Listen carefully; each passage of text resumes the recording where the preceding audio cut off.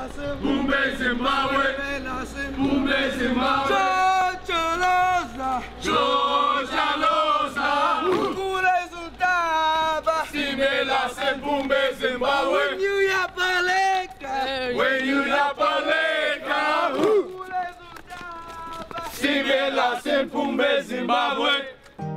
I always feel like there's something that's holding me down. Someone at school doesn't have the same story, and if I tell them it, they just make fun of me like, haha, you have your father in prison.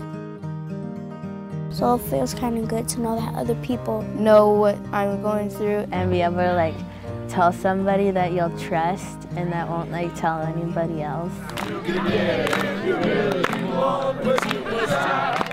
Try try,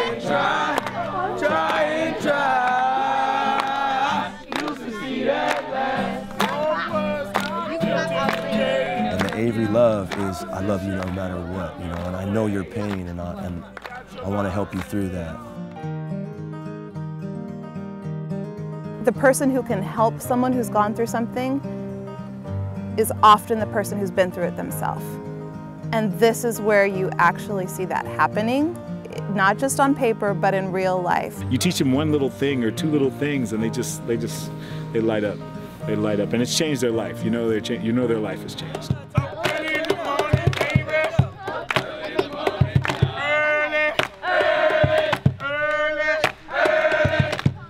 Was in prison, and yeah, people talked about their kids, and you know, a lot of times some of them would tell them about their kids aren't able to, you know, go here or there, and they wish they were there to be able to help out, and knew that, and, and I would kind of just pretty much just share my experience that, you know, Project Avary has uh, has allowed my children to be able to do different fun things and, and, things that educational things too. Avary gives them that safe place where they can just be themselves and where they can really just feel accepted, not feel judged. Like if you can't be yourself the whole year, that one week you'll be yourself. You'll be you, like the truest the truest you that there is.